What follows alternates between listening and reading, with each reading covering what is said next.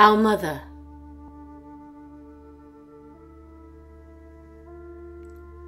Who is with us?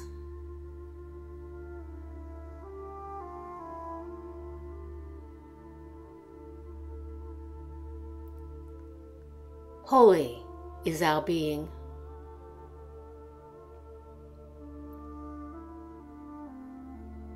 Thy kin-dom is present.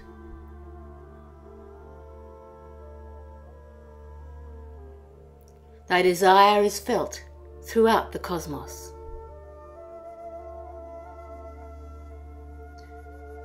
May we graciously receive your infinite daily abundance.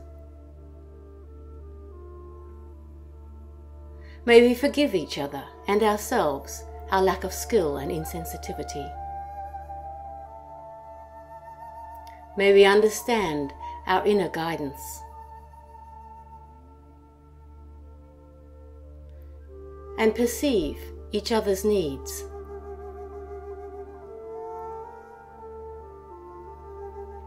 For thine is the kin-dom, the power, and the story.